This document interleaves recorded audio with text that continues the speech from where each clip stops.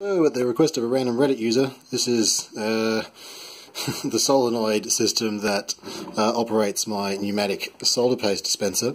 Um, effectively, we put high pressure air in here.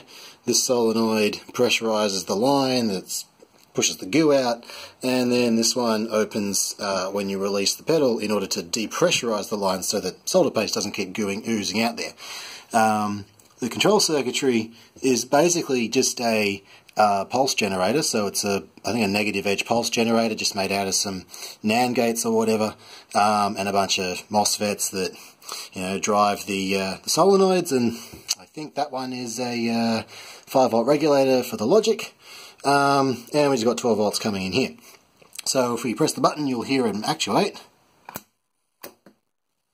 So that's the intake one actuating, then we will uh, listen to the release. Here we go, it opens for half a second or whatever. The time that it opens is fairly non-critical.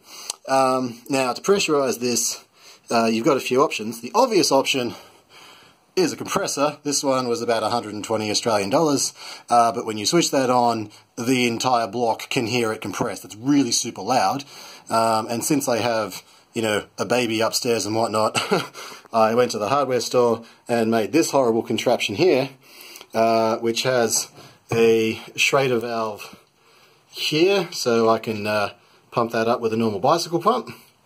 Um, this valve was basically, uh, I put it there just because when I was gluing everything together, I needed to decide whether it was there. So I put it there just in case this horrible arrangement here was leaking or uh, if I wanted a different connector there or whatever, so I can uh, cut it off.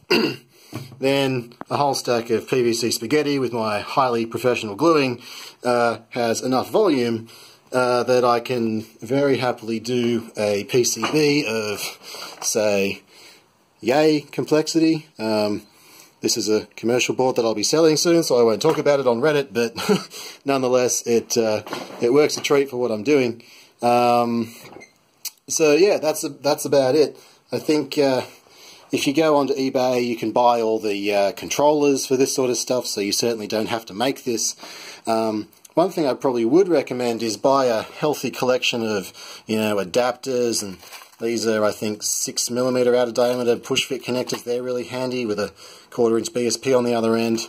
Uh, I got a bunch of these taps so that I can have, for example, a bunch of T-pieces coming off this and have maybe three or four different syringes and just switch on the one I need. So maybe one for solder paste, one for solder paste for a different size syringe, and one for flux or whatever. Um, so, you know, you can never have too many pneumatic connectors. You can get, you know, these bags of five or ten T-pieces for, you know, like 10 cents or whatever out of China. These things are all super cheap. Um, and it just makes, you know, playing Lego with uh, all the pneumatic stuff a lot easier. So hopefully that helped.